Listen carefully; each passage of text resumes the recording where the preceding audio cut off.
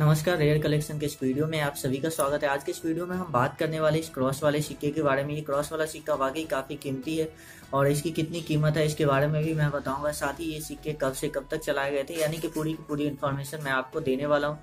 साथ ही मैं आपको बताऊँगा कि अगर आप इसे सेल करना चाहते हैं, आपके पास ये सिक्के हैं तो आप उसे कैसे सेल कर सकते हैं। तो सारी जानकारी के लिए वीडियो को आप लास्ट तक देखते रहिए। तो चलिए शुरू करते हैं। लेकिन वीडियो में आगे बढ़ने से पहले मैं आप लोगों से एक निवेदन करूँगा कि यदि आप हमारे चैनल पर पहली बार विज़िट करें या चैनल को अभी तक आपने सब्सक्राइब नहीं किया है तो सब्सक्राइब कर लीजिए और साथ में दबा दीजिए इस बेल आइकन को। इससे क्या हो कि आपको हमारे हर एक वीडियो का नोटिफिकेशन मिल जाएगा और आप हमारे कोई भी वीडियो को आसानी से देख पाएँगे। आपको हमारे वीडियो को सर्च नहीं करना पड़ेगा। सब्सक्रिप्शन बिल्कुल ही फ्री है, इसका आपको एक भी पैसा नहीं लगता है। साथ ही अगर आपने अभी तक इस वीडियो को लाइक नहीं किया तो यहाँ पर आपको लाइक का बटन मिलता है, एक लाइक भी ज़रूर कीजिए। तो अगर बात करते हैं इस क्रॉस वाले सिक्के के बारे में तो इसे दो अलग अलग तरीके से चलाया गया था, जैसे कि सिंगल क्रॉस और डबल क्रॉस में। सिंगल क्रॉस के जो सिक्के थे, वो एक रुपये और पाँच रुपये के सिक्के थे। जैसा कि अभी आप देख सकते हैं, हमारे पास ये एक रुपये का सिक्का और एक जो पाँच रुपये का सिक्का था, उस पर भी सिंगल क्रॉस बना हुआ था।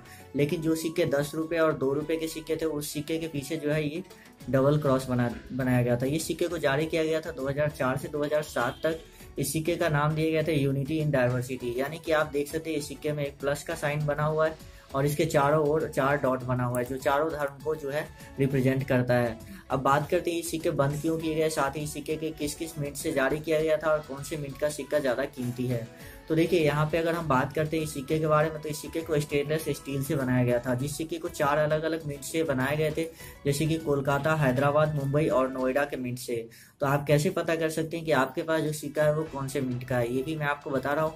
देखिए, इस सिक्के की अगर बात करें तो इस सिक्के को बंद कर दिया गया 2007 में। क्योंकि बहुत ज़्यादा लोग प्रोटेस्ट कर रहे थे। अगर आप इस सिक्के पे इस साइन को देखें तो ये साइन जो है एक क्रॉस का साइन लिखा लगता है, जो कि क्रिश्चियन का एक पवित्र साइन है। क्रॉस वो यहाँ पे हमें दिख रहा है।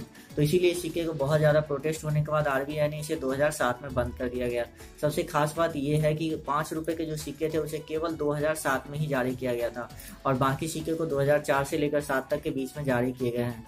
तो अब बात करते हैं ये सिक्के की प्राइस कितनी है। तो देखिए, यहाँ पे सबसे पहले तो आपको ये पता करना होगा कि आपके सिक्के जो है वो कौन से मिनट के हैं। लेकिन देखिए, यहाँ पे सिक्के मिनट यहाँ पे आपको जो है सिक्के को ओवरव्यू को अगर हम देखते हैं तो यहाँ पे आपको ऊपर में भारत, हिंदी में और इंग्लिश में इंडिया लिखा हुआ मिल जाता है। साथ ही यहाँ पे अशोक स्तंभ और उसके नीचे सत्यमेव जयते लिखा हुआ है। यहाँ पे टू रुपीज़ और यहाँ पे वन रुपीज़ जैसे सेम टू सेम इस कॉइन को आप देख सकते हैं। इसके नीचे यहाँ पे जो इसका मिंटिंग ईयर है, ये लिखा हुआ है। साथ ही यहाँ पे आपको मिंट मार्क मिल जाएगा। अगर आपके मिंट मार्क में डॉट है छोटा सा तो वो नोएडा मिंट का सिक्का है। अगर आपके मिंट में यहाँ पे स्टार बना हुआ होगा तो वो आपके मिंट जो है, हैदराबाद मिंट के सिक्के होंगे साथ ही अगर आपके मिंट सिक्के पे डायमंड का मार्क बना हुआ है तो मुंबई मिंट का सिक्का, और जब आपके सिक्के पे कोई भी मिंट मार्क नहीं होता है तो वो सिक्के कोलकाता मिंट के होते हैं। तो चलिए, अब हम बात करते हैं कौन से सिक्के सबसे ज़्यादा कीमती है और कितने पैसे आपको मिल सकते हैं और आप उसे कहाँ पे सेल कर सकते हैं। तो देखिए, अगर बात करें सिक्के की कीमत के बारे में तो अगर आपके पास दो हज़ार चार का ऐसा कोई एक रुपये या दो रुपये का सिक्का है तो वो आपको एक हज़ार रुपये तक दिला सकता है। लेकिन अगर आपके पास 2004 के बाद का कोई सिक्का है तो वो आपको पाँच सौ रुपये तक दिला सकता है।